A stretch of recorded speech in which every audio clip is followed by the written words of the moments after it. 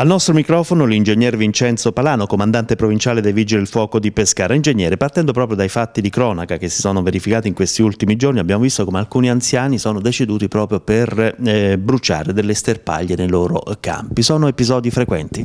No, non, non sono episodi molto frequenti, anche perché all'aperto è, è abbastanza facile che nel momento in cui si vede che un fuoco può dare dei problemi ci si può allontanare facilmente. Quindi evidentemente devo ritenere che negli episodi che lei stava descrivendo gli anziani avranno tentato di spegnere il fuoco perché hanno capito che il fuoco stava raggiungendo dimensioni eh, che non si potevano più controllare e quindi saranno stati intossicati dai fumi della combustione. Il vento può rappresentare un elemento di pericolosità? Certamente è uno degli elementi più pericolosi il vento perché potremmo anche realizzare una combustione in una situazione inizialmente tranquilla la folata di vento ci potrebbe portare le faville anche a distanze ragguardevoli di 20, 30 metri, 40 metri e quindi portare l'innesco anche a materiali, a, diciamo, a, a boschi o a sterpaglie lontane dal luogo in cui si è iniziata la combustione.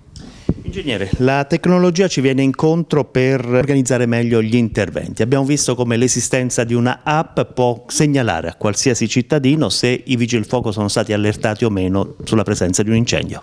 Certo, abbiamo un'applicazione, si chiama Notfire, che tutti quanti possono installare sui propri cellulari, che ci dà la, dà la, possibilità al cittadino di verificare se per determinate situazioni di emergenza noi siamo stati o meno informati. Questo anche per, per fare in maniera che i centralini non siano subissati da telefonate nel momento in cui eh, giustamente il cittadino rileva una situazione di emergenza, ad esempio un incendio che interessa un, un'abitazione, potremmo ricevere telefonate da tutti i vicini e quindi tenere impegnato il personale all'interno della centrale operativa per rispondere alle varie telefonate che ci arrivano. Cioè, se il cittadino invece verificando l'applicazione rileva che noi siamo già stati informati che le squadre quindi sono già in partenza, potrebbe eh, quindi evitarci eh, diciamo, l'effetto che avviene a catena nel momento in cui c'è un, un evento particolare.